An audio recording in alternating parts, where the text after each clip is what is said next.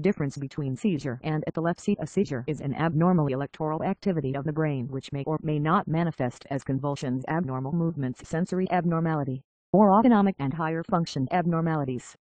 Epilepsy is referred to diagnosed seizure disorder of a patient.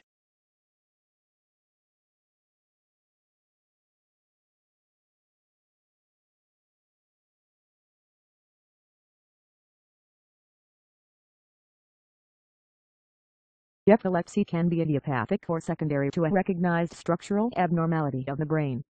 The key difference between seizure and epilepsy is that a seizure can be due to a systemic cause affecting the brain or local causes affecting the brain, but epilepsy is usually due to a structural abnormality of the brain.